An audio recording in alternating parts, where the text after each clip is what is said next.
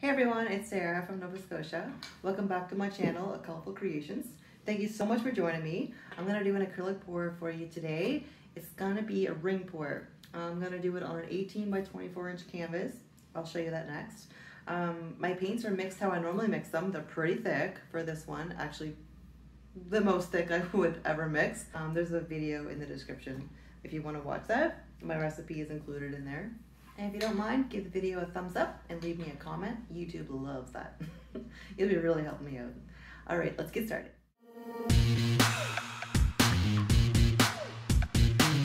So here we are. I'm working on an 18 by 24 inch canvas. I'm going to use just three colors today to keep it nice and simple. Ultramarine blue, titanium white, and cerulean blue. Now the cerulean blue, I have added a little bit of iridescent pouring medium. I sometimes like to throw in an, an iridescent um, on top of paints that aren't iridescent, if that makes sense. Just so that if you have like if you have a shiny one and a non-shiny one, the shiny one looks more shiny, if that makes any sense. Um, I find it works for me. So now I'm doing a ring pour, and for a ring pour, you want your paints to be really thick to make sure that the lines stay nice and crisp and clean. They're pretty thick. It leaves a mound in there. I'm gonna start the cup with white. Um, whatever you start, Whatever you put in first comes out last, and that is the middle color of your ring pour.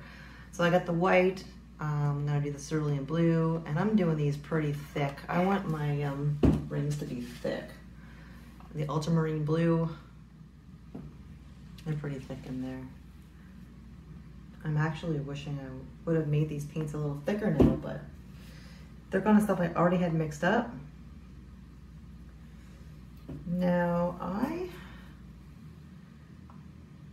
think I want some negative space left on this. We'll see. If I fill this cup up the whole way, it's gonna be 16 or 18 ounces, I believe, and that is enough to cover this 18 by 24 canvas.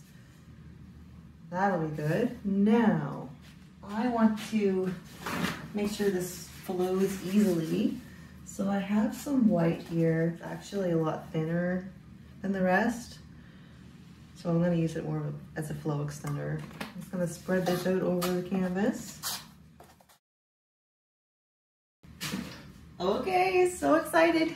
I normally try to make this come to a spout, but it's pretty full. Here we go. Tiny little circles.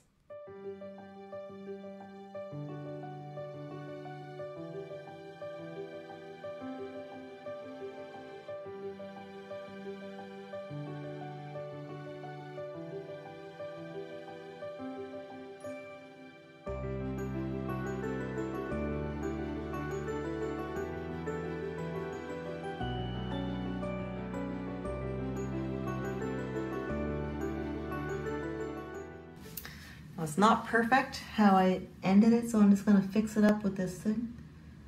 This paint knife, or anything you can use, just give it a little swirl. I'm seeing a lot of bubbles.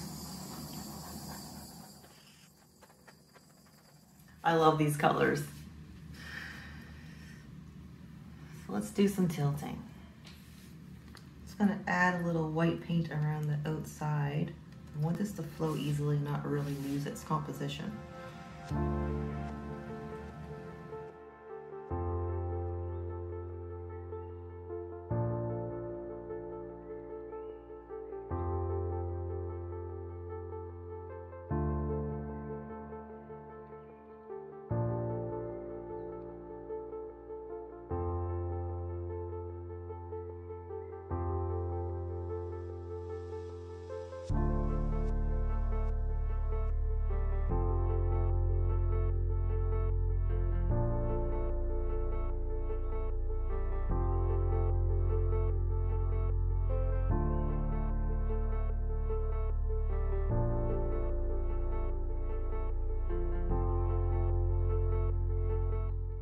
Right, let's have a close look.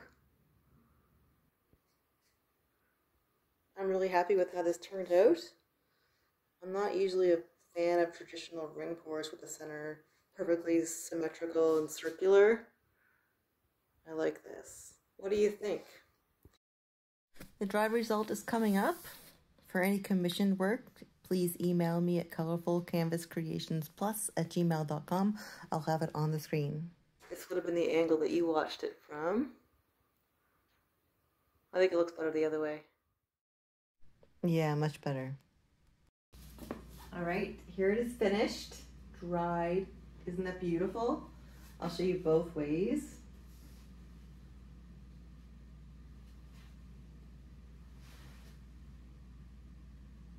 It dried so nice.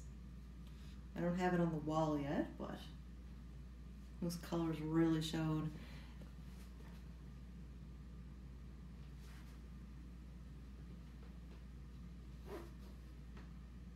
Which way do you like it? You can let me know in the comments. I feel like this way might be the best. I don't know.